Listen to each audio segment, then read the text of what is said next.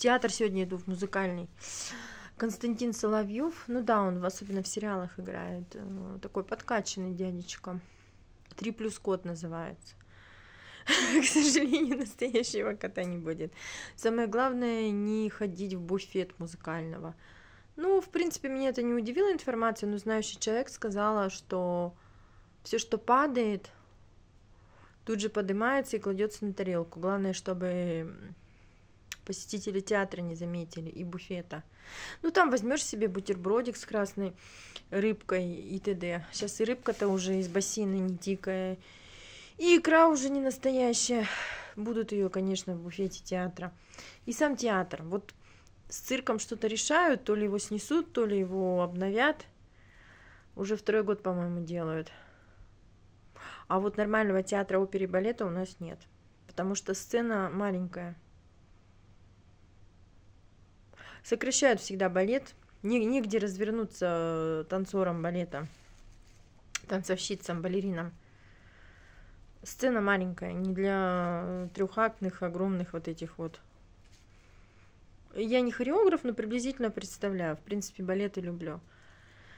Поэтому нужен хороший театр оперы балет там, но приходится довольствоваться тем, что есть. Ну, иногда в драм ходила, когда у меня знакомый Юрка был, сосед. Сосед по двору той квартиры, которую мне нужно сейчас забирать обратно у этих мразей. Ну да ладно, сейчас речь не об этом. Э, по пригласительному ходили, да. Юрке привет, если он меня видит. Он же... То ли он звук ставит, по-моему, звук и освещение, по крайней мере, работал Юрий Козлов.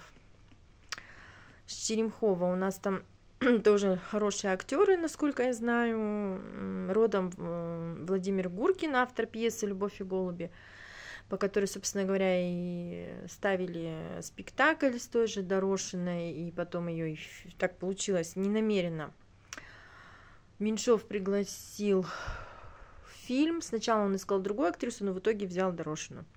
Царство им всем небесное.